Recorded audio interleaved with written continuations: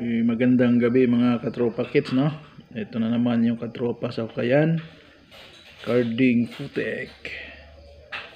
Mga katropa kits, meron tayong dalawa na lang natira natin mga katropa kits. Magka partner na aurameter tsaka kumpas. No, ayan. Dalawa na lang mga katropa kits. Ayan, dalawa na lang natira. Mag PM lang kayo mga tropa kits. Okay, kaya tumawag o mag-text kayo sa aking ah, number, no? Nakalagay naman dyan sa screen natin. So, napakaganda nito mga katropa kits. Itong ating aurameter, no? Ito yung chamber niya mga katropa kits. Pinakadugsungan. Dugsong mo lang dyan, tropa kits, oh. Yan. Ito may power load na to. Itong pendulum na to. Double power load yan mga katropa kits. Tapos paglagyan nyo ng bala dito sa diamond sensor. Ito. Yan mga katropa kits. Oh. Yan. Ikutin natin na. Iikot yan. Oh. Yan. So tanggalin nyo dito. Hawakan mo lang dito sa dulo. Tapos hilain mo. Pa pataas. Yan, matanggal na yan mga tropikits. Dito, ilagay mo yung bala. Pasok mo dyan sa loob. Ito yung pinaka-sensor niya. Antina, no? So, ito ang hahagip ng frequency plus bala pa. Kung lagyan nyo ng bala, mas malakas ang hatak, no? Pwede naman walang bala.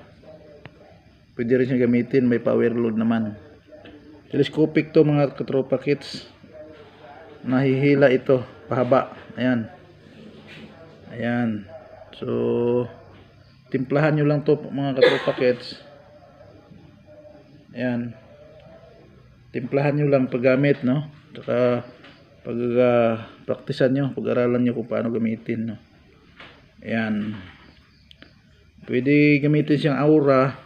Tayo nyo lang. Diretsong tayo tapos, pag gamitin nyo siya bilang 1, hilain nyo lang mga tropa kits, pahabaan nyo. Ayan. Tapos, itonton nyo siya para ganyan. Ayan. 1 na yan, no?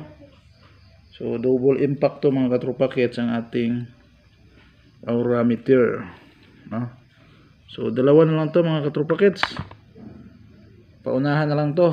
Tapos, ito yung partner niya panghanap ng mga coordinate marker mula sa beans marker napakaganda nito mga katropa kits oh. eagle ito eagle engineering, engineering linsati kumpas ayan oh. ayan mga katropa kits oh. napakalinaw ng ano niya oh. Vision, vision niya sa salamin ayan So, pag-aralan nyo, kasi yung kumpas ang pinaka number one na panghanap ng treasure deposit. Basta may legit lang kayo na sign, makita nyo. Pag-aralan nyo ang ano niya, direction, yung secret formula.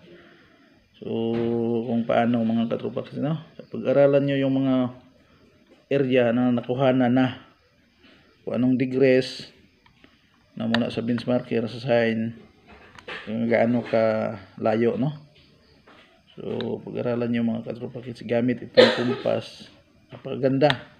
Tapos pag na nakita nyo na yung mga coordinate marking yung mga reference marker saka may prospect na kayo na area pwede nyo nang gamitan ng pointer.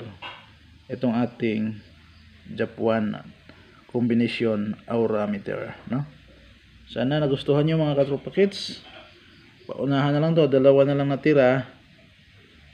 At uh, mag PM lang kayo o tumawag kayo sa akin number kung mag-inquire kayo mga katropa kids kung magkano no?